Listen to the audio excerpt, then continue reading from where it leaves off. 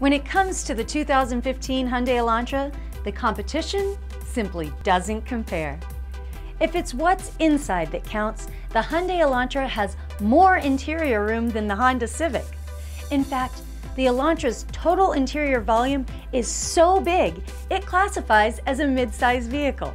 So get in, stretch out, and enjoy the ride.